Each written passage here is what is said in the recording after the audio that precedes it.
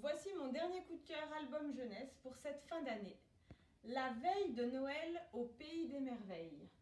Alors on commence cette histoire avec euh, le Père Noël qui reçoit une demande assez particulière, puisqu'ils doivent aller au pays des merveilles, rencontrer Alice, le lapin et le chapelier fou, et ils ont pour mission d'offrir un cadeau à la reine, la reine de cœur qui, bien sûr, comme on le sait tous, est tyrannique. Malheur, lorsque le Père Noël et ses reines arrivent, il se trouve qu'elle ordonne qu'on leur coupe la tête.